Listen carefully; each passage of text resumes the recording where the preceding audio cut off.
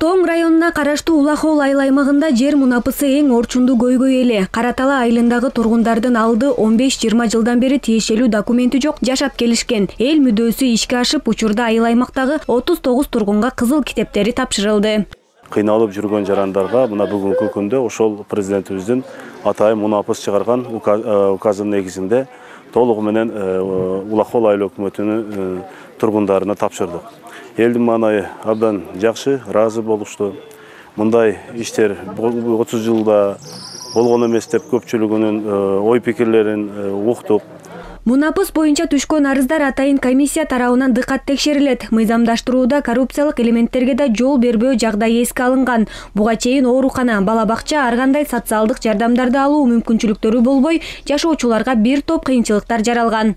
Кызыл китеп алдын элек элдердин баарына кубанычтуу сүйүнүчтүү кабар болду. Бүгүн биздин э, акимибиз келип э, жер э, госреестрден каттоо мамлекетинен келип айыл өкмөттөрдөн келип тапшырып отурат биздин китебибизди ушу менен президентибизге да ыраазычылык билдире кетмекмин ошол президент эрк саясий кадам жасап ушул жер мунапысын түзүп берип бир топ элдер Э, кызыл китепте болуп жерге мыйзамдуу э, үй салып калдык. Тоң району боюнча мунапыс мыйзамынын алкагында жети жүз алтымыш жаран арызы менен кайрылган. Учурда район боюнча мунапыс көйгөйү дээрлик токсон пайызга аткарылган. Мындан ары дагы калган мамлекеттик актысы жок үйлөрдү мыйзамдаштыруу улантылмакчы.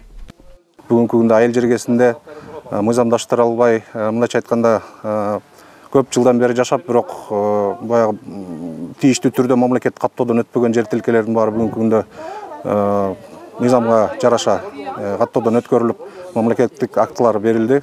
Белгилей кетсек президент садыр жапаров жер укуктук мамилелерди жөнгө салуу жөнүндө мыйзамына кол койгон. Жер мунапысын жүргүзүүнүн тартиби жөнүндө жобого ылайык республиканын ар кайсы аймагында жарандардын жер тилкесине болгон жеке менчик укугу жөнүндө мамлекеттик актылары тапшырылууда.